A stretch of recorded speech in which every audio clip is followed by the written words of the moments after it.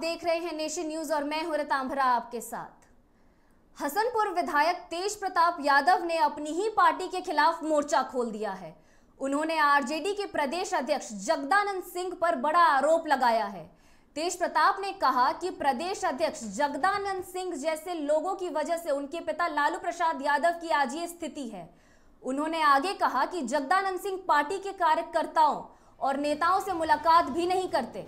बता दें कि पिछले साल भी तेज प्रताप यादव और लालू प्रसाद यादव की करीबी और पार्टी के प्रदेश अध्यक्ष जगदानंद के बीच तकरार की खबरें आई थी, जिसके बाद राबड़ी देवी ने मामले को संभाल लिया था।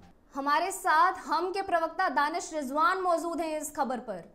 दानिश जी, जिस तरीके से आरजेडी ने जगदानंद सिंह पर जो आरोप लगाए हैं, इस पर क्या कुछ कहना है आपका? ऐसे तो ये राष्ट्रीय जनता दल का आंतरिक मामला है, जिस पर किसी भी पॉलिटिकल पार्टी को बोलना कहीं से सही नहीं होगा, लेकिन जो राष्ट्रीय जनता दल की हो गई है। उन्होंने भी जब महागठबंधन को छोड़ा था तो निसंदेह राष्ट्रीय जनता दल में इन्हीं तानाशाह नेताओं की वजह से मजबूरन जी, दानिश जी, आरजेडी हमेशा एकजुटता की बात करती आई है, लेकिन ऐसी बातों पर, जैसे तेज प्रताप, जगदानंद सिंह पर आरोप लगा रहे हैं, इस पर आपका क्या कहना है? देखिए एकजुटता की बात अगर राष्ट्रीय जनता दल के नेता कहते हैं तो अपने आप में हाथ दिखाई देता है।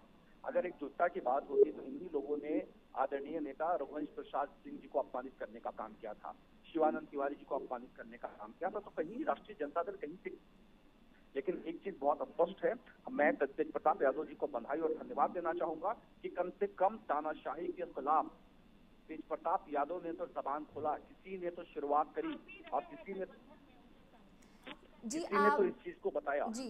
कि कहीं ना कहीं से तानाशाही है। जी आप भी इस गठबंधन में पहले रह चुके हैं। आपने कैसे पार्टी को किस नज़रिए से देखा है?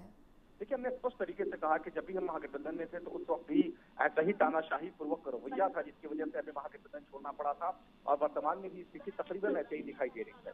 तो वैसे हम हम एक चीज़ बहुत स्पष्ट तरीके से कह सकते हैं कि ये तानाशाही जो है उसके खिलाफ किसी ने भी आवाज़ बुलंद करी है, उसका स्वागत होना चाहिए। जी, धन्यवाद आपका नेशन न्यूज़ के साथ जुड़ने के लिए। अब तक के बुलेटिन में सिर्फ़ इतना ही, बने रहे हमारे साथ नेशन न्यूज़ के साथ। नमस्कार।